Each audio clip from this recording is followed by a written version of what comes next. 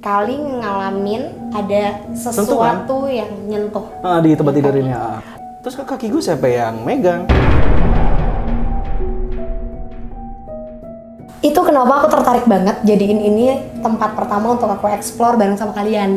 Karena sebenarnya yang ada di tempat ini perempuan Kamar mandi. di kamar mandi. Kamu sadar dari tadi kita diikutin dia. Hmm. Mandanya sadar dari tadi. Diikutin sama Ada anak kecil. yang Tapi kenapa dideketin Ali? Karena dia tahu kakak itu gerak-gerakkan kakinya di tempat dia.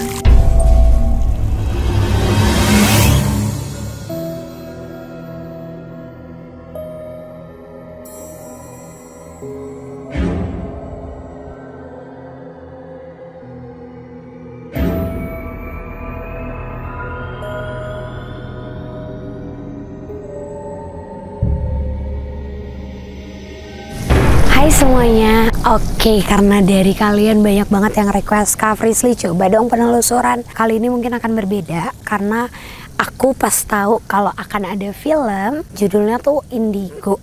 Pemainnya tuh Manda dan juga Kak Ali dan kebetulan akhirnya aku bisa ketemu sama mereka dan ngajak mereka untuk penelusuran bareng sama aku dan aku juga diizinkan untuk datang ke lokasinya.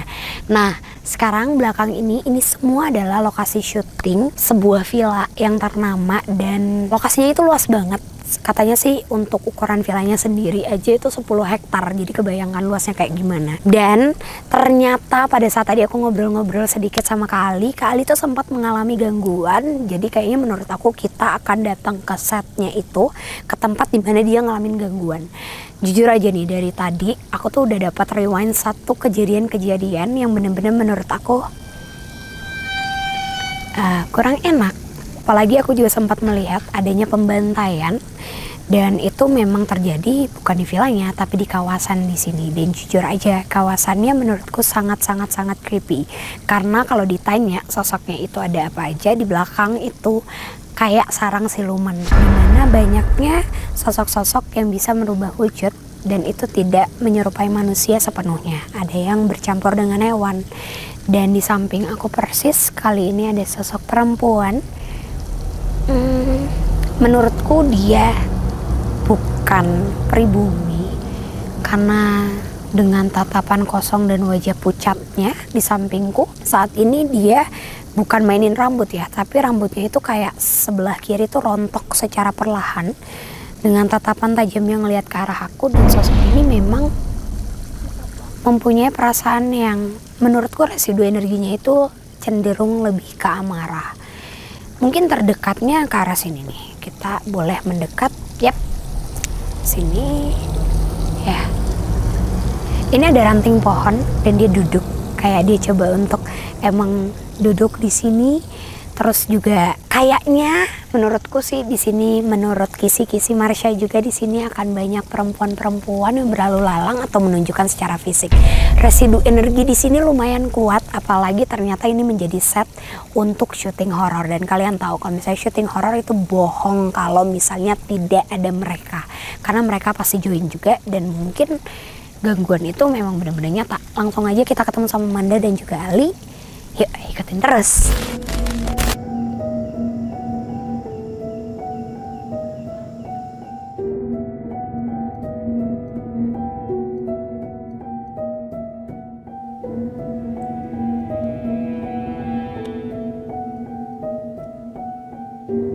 Oke, jadi sama kayak yang tadi Frisly udah bilang, kali ini penelusurannya beda. Aku ditemenin sama temen aku, ada Amanda. Halo. Dan juga ada Kak Ali. Halo. Dan sekarang kita mau langsung masuk ke lokasi yang sebenarnya ini jadi tempat istirahatnya kalian ya. Base Iya, camp. base Base campnya camp. ya pada saat itu.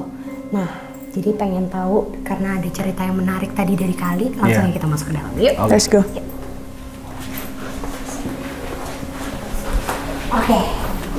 Kita ngobrol-ngobrolnya sambil duduk, boleh kali ya? Boleh. Boleh. Tapi sebenarnya Manda waktu lagi syuting itu ngerasain yang aneh-aneh juga nggak? Atau malah baik-baik aja? Eh, Sebenarnya aku adalah tipe orang yang kalau misalkan lagi bekerja eh, di situasi mana pun ya konsepnya bekerja ya bekerja. Yang penting kita dari awal kita sudah tahu kita memang lagi minta izin. Mohon izinnya, semoga jangan tidak mengganggu dan diberikan sebuah kelancaran. Pokoknya niat yang baik pasti hal baik juga gitu ya. Ya. Nah kalau Kak Ali, karena tadi kita udah ngobrol sedikit juga, jadi katanya di tempat ini pernah ngalamin hal yang sebenarnya pada saat itu malah lagi rame banget ya, rame nggak banget. sendiri, Ah. nggak cuma lagi berapa orang doang, tapi itu lagi rame banget. Itu tuh ngalamin hal apa sih kak? Iya, salah satunya ngalamin di tempat tidur ini. Eh, waktu itu kakaknya Manda tuh bawa anjing ya, yang kecil. Ya, kola. Kola. Ada uh, mini tiny uh, poodle. Ya, ada kola. Jadi kita tuh uh, seneng gitu kalau ada kola gitu. Jadinya lebih rame gitu tempat ini. Dan kola juga aktif, kadang suka main masuk-masuk situ, ke sana, ke sini, ke sini. Dan aku juga sambil main sama kola tuh Manda lagi di sana, kadang-kadang lagi tag, karena sama kakaknya ngobrol sama Ryuken, salah satu pemain dari Indigo. Nah, aku masih ngobrol sama Ryuken. Aku kira kolanya ini masih uh, keliuran, masih masih ke mana-mana gitu. Oke oke. Karena kan kola tuh kadang ke mana-mana gitu kakinya gitu ya. Jadi ih lucu gitu ya. Eh ternyata pas aku lagi ngobrol sama Ryuken, ya ada yang nyentuh kaki aku tuh di bawah tuh. Sedot aku bilang kola kola kola kola gitu kan. Pas lagi ada yang pegang-pegang gitu, kola kola kola kola. Terus aku sama Ryuken masih ngobrol. Kata Ryuken ngomong gini, kola kola apaan sih lu? Tuh kola lagi tidur di situ. Dan benar kolanya lagi, Lagi tidur. Lagi tidur. Jadi kali ngalamin ada sesuatu yang nyentuh. Ah, di tempat tidur ini. ah. Ya udah akhirnya pas lagi pas udah Ryuken bilang lah kolanya ada di situ. Lah, terus ke kaki gue siapa yang megang? Aku kira tuh ini nih. Ya kan? Ternyata Positif itu ini, tapi enggak, ini tuh kayak nge ngegelitikin. Jadi benar-benar sentuhannya jelas gitu. ya? Jelas di sini. Makanya aku kira aku orang sampai kola kola kola gitu. Ternyata nggak ada. Aku sempat mikir mungkin itu plastik apa atau kita kan rame-rame di sini. Jadi aku kira itu koper gitu. Atau plastik atau gimana gitu. Pikirnya positif gitu. Ya pas aku cek, loh kosong nih, nggak ada apa-apa. Kayak gini persis di bawah. Tapi kalian tuh tahu gak sih sebenarnya kalau kita lagi syuting film horor ya, yang selama ini aku tahu dan ini aku keringetan banget. Ada kan di sini? Ya, rame banget. Yang pertama. Dan- Cewek nggak? Cewek. Itu kenapa aku tertarik banget jadiin ini tempat pertama untuk aku explore bareng sama kalian. Karena sebenarnya yang ada di tempat ini perempuan Kamar mandi. di kamar mandi rambutnya itu sebenarnya di bawah lutut ini beneran asli kalau ditanya wajahnya kayak gimana setengah rambutnya itu nutupin mukanya karena kayaknya tekstur dari kulitnya itu maaf ya tapi kayak kulit pohon yang terkelupas Oke. jadi Udah lumayan hancur. hancur dan gak enak dan kenapa ke Kali mungkin karena pada saat itu Tertarik sama Ali. iya kayaknya Kali tuh punya daya tarik yang emang tinggi Oh, sampai setan juga kamu ya? kamu kenapa bisa tiba-tiba ngomong kayak gitu man kalau aku boleh tahu ya kenapa bisa tertuju ke ini kamar mah mandi? sengaja ini. terus ternyata Benar. benarnya ya kayak gitu karena emang beneran ada di kamar mandi Ada. aslinya makanya tadi aku ngomong dulu di sini biar siapa tahu emang ada cerita dari dia. Dan ternyata memang sosok ini sosok yang udah ada dari sebelum pembangunan tempat ini. Udah jauh. udah jauh sebelum itu. Dan bisa dibilang punya cerita yang lumayan tragis. Ah, Tapi- tragis. tragis. Dan dia juga ngasih gambaran sebenarnya titik ceritanya itu di mana kejadiannya seperti apa bahkan makhluk-makhluk yang lumayan dominan di sini tuh apa aja. Cuma aku mau kasih pertanyaan lagi karena mumpung kali ini aku penelusurannya nggak sendiri Mm-mm. kalau kamu di film ini kan kamu harus jadi anak indigo dan kebetulan retro juga ya man kamu harus tarik mundur tentang satu kejadian sempet ngalamin sebelum lagi acting pusing atau apa enggak Enggak sih. Eh, kalau misalkan pusing bukan di tempat ini. bukan di sini tapi lokasi Tempat-tempat eh, jauh, tempat-tempat lain setelah kayak udah mau selesai syuting. oke Itu baru aku jadi eh, sempat ada di mana eh, ketika aku syuting aku nggak bisa dialog. Eh, jadi ada memang aku masih aku ngerasa ada sesuatu hal yang menempel di sini. Ada yang kayak menggendong. ya uh, ada yang merang uh, memeluk di mana dia dia tahu aroma. Hmm. dia tahu aroma aku. Jadi dan aku orang yang men- mendinai. Mendinai semuanya Masih untuk batasan enggak gap itu ya? Lo nggak boleh masuk. Lo harus uh, lo masih harus syuting. Lo lebih kuat lo manusia. Uh, lo punya kuasa di atap uh, lo punya kuasa apa pun eh, di atas segala pun yang tidak pernah lo lihat, di mana orang-orang yang sudah tidak berada di dalam dunia ini, lo kuat. ya tidak mungkin bisa melebihi itu gitu Iya, ya tapi itu bisa berpengaruh kalau misalkan lo lost. Lo eh, itu bisa berpengaruh kalau misalkan lo renggang. Mungkin renggang dalam keagamaan, renggang renggang dalam sebuah jiwa, lo lagi capek, celah. lagi lelah, lagi sakit, itu mungkin aja bisa. Tapi gue tipe orang yang kalau misalkan dalam kondisi apa pun gue bisa punya batasan. Jadi gue membatasi itu semua. Jadi gue nggak bisa dia tapi memang eh, pengaruhnya nggak bisa dialog. Eh, ada sebuah kecanggungan Oke. berat eh, pusing terus abis itu blank. Tapi akhirnya kenanya sama lawan main gue. Jadi mis- misalkan gini, Anda lawan main saya di mana Anda itu lagi harus berjabat tangan sama saya. Ketika kamu berjabat tangan dengan saya, itu Tiba-tiba pindah. malah pindah Jadi dia akan tiba-tiba dia yang malah drop dan ngalamin ya itu dan kamu ngeliat aku. oh Karena kamu tahu kamu mau sama aku, tapi aku nggak bisa karena kebatas itu ke ya batas. tapi dia ngeliat langsung ya kayak ngapain kamu? tapi kamu berasa banget itu Tahu. itu berasa Tahu. Ada mas siapa? Siapa? Eh, Aduh, itu juga lupa namanya. eh, bapak siapa? Aku lupa. Jadi jadi Ada gini. salah satu tim di dalam Iya. kondisi situasi kita ke misalkan kita lagi ke, uh, syuting horor pasti harus ada yang menjaga situasi dan kondisi Betul. Betul, pada saat lagi syuting. Nah pada saat itu ada uh, aku lupa namanya siapa, mohon maaf.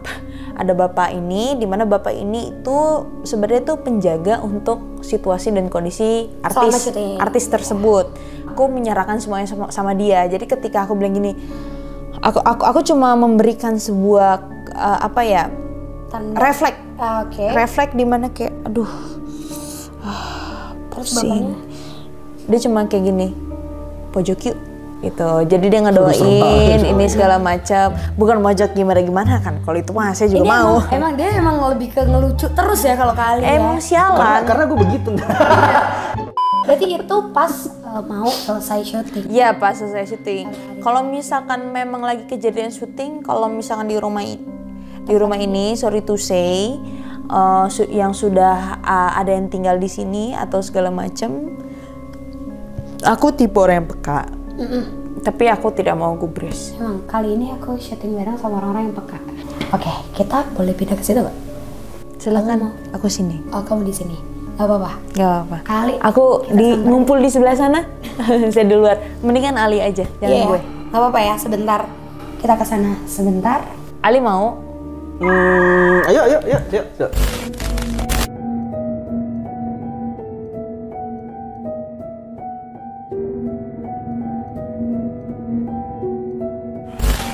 Aku boleh masuk? boleh Aku boleh pipis nggak ya jangan ya? Enggak dong.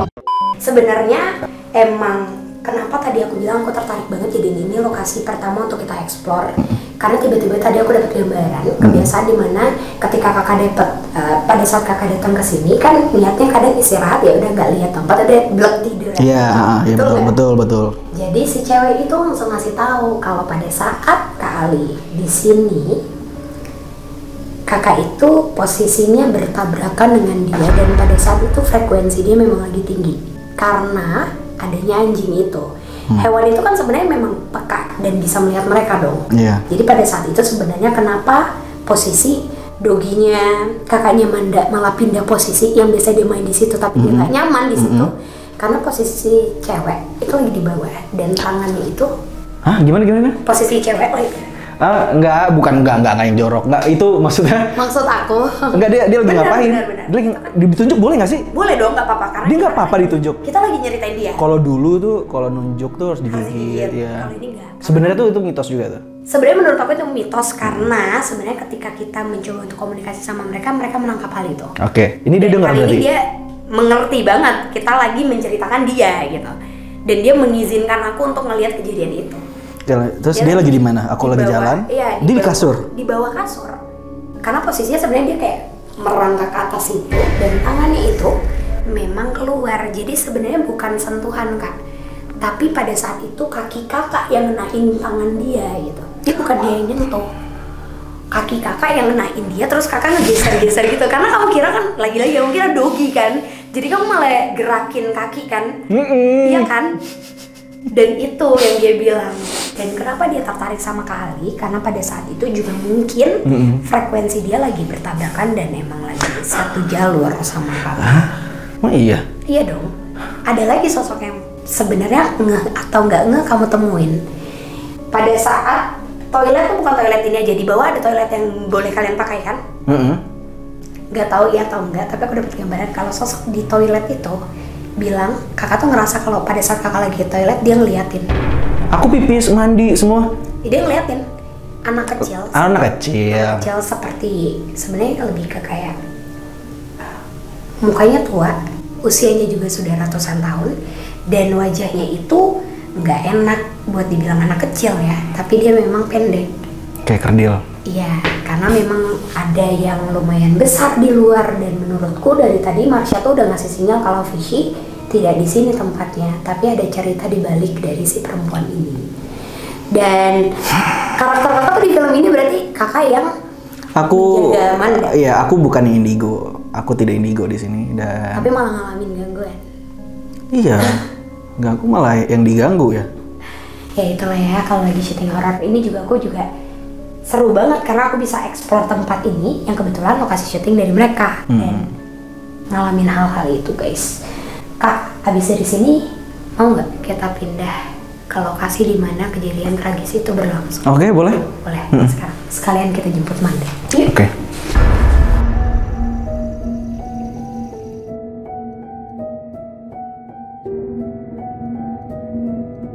Jadi sekarang kita udah di luar dari lokasi, tapi termasuk bagian set ya.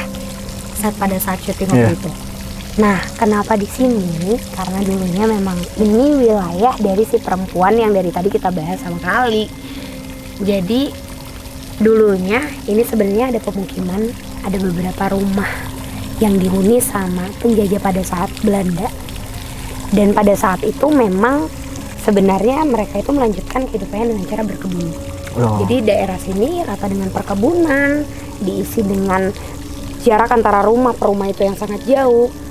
Dan naasnya adalah perempuan ini yang dipilih menjadi pasangannya dari si penjajah itu dianggap mungkin sebagai pengkhianat buat orang pribumi.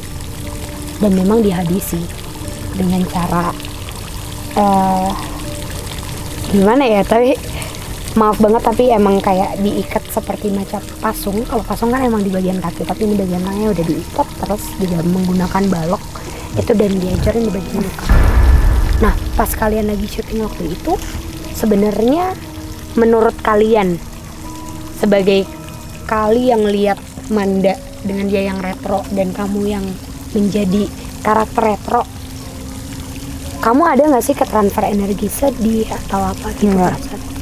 berarti nggak ada dari mereka yang coba untuk nembusin dan komunikasi itu ya Manda Kalau misalkan komunikasi dan masuk sih ke di di rumah dan di sekitar ruangan ini sama sekali mereka nggak berani. oke jadi ada batasan bener-bener ya Ya mereka bukan tipe yang seperti itu menyerang sepertinya. ya.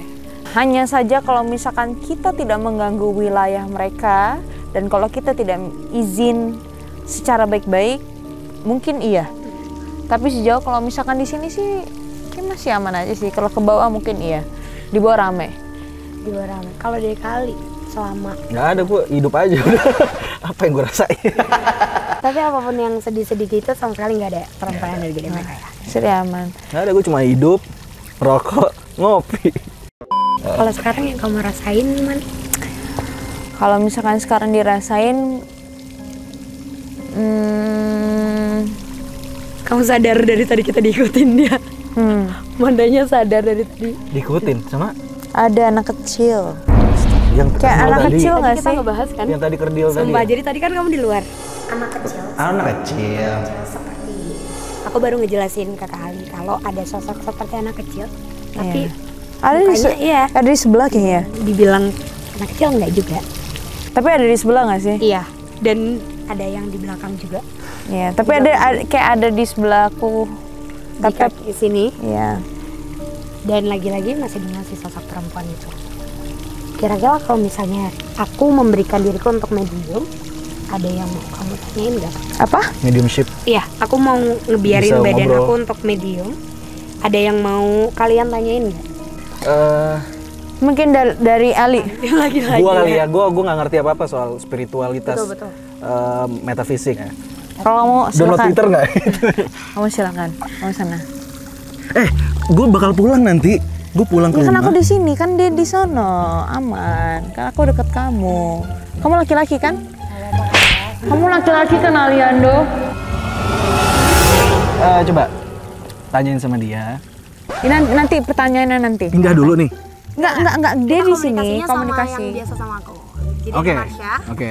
itu yang Aruan? beda kan ini Marsha temanku yang dia mungkin bakalan Oh, ngejelasin tentang si Marsha temenmu. iya Udah. ini yang masih baik kok dia cuma pengen cerita mungkin dari sisi Temen, temen yang dari ya, tadi- temennya. yang dari tadi Manda udah sempet sebut Ya oke. komunikasi dulu kan Ya boleh.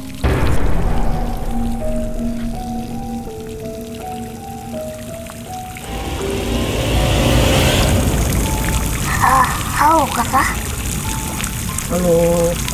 Halo. dan Mas. Hah? Um, kakak, tapi kakak tahu kalau perempuan itu sempat ikut kakak tidak? Enggak. Pak perempuan itu sempat ikut dengan kakak, tapi tidak berani dekat-dekat dengan kakak perempuan. Kenapa? Karena kalau dekat dengan kakak, dia akan merasa panas sekali. Kenapa emang? Kan kakak selalu menahan.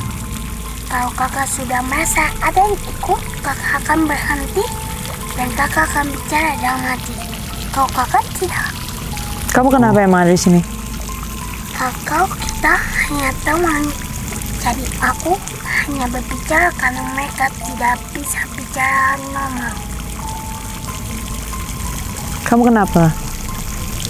Ah, aku hanya berteman dengan yang ini saja yang perempuan tidak mau kakak. Kenapa nggak mau? Kalau yang perempuan itu terus menangis karena dia tetap tidak suka dengan laki-laki. Tapi kenapa dideketin Ali? Karena dia tahu kakak itu gerak-gerakan kakinya di tempat dia.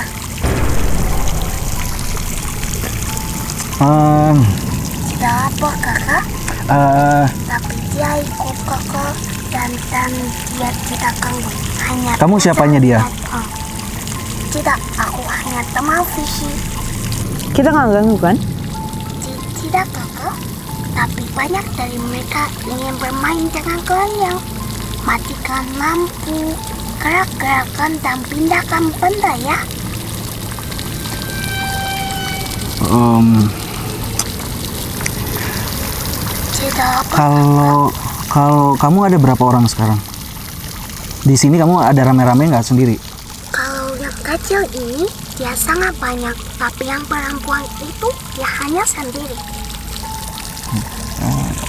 Tapi dia nggak agresif kan? Dia ngerti nggak bahasa itu? Kakak tahu kalau dia sentuh kakak? Aku nggak ada salah kan sama kalian di sini sebelum aku syuting di sini? Mereka bilang tidak, tapi mereka senang sekali karena lagi jadi banyak teman dan mereka suka mematikan lampu-lampu ya. Makasih ya. Kasih. Ya kakak, Boleh balikin teman aku? ya kakak, aku tamat visi. Tidak apa kakak? Bye-bye kakak.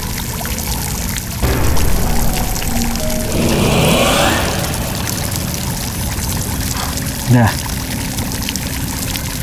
aman cuma nge-flashback tentang kejadian yang dialamin sama perempuan lagi-lagi masih perempuan Masih daya perempuan. tarik daya tarik nyali kayaknya emang ke sosok-sosok perempuan ya di sini Mm-mm.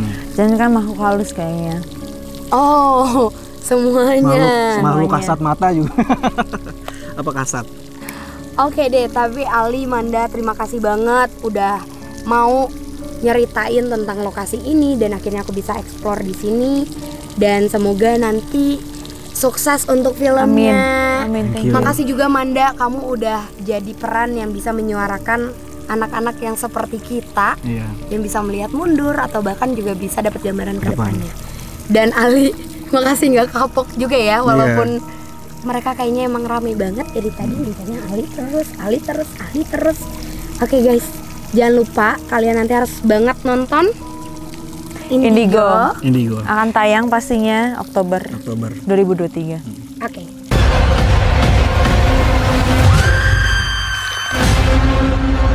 Pastiin kalian nonton dan ajak orang-orang untuk tahu juga seperti apa sih jadi anak indigo tuh kayak gimana, capeknya Iya. kayak gimana.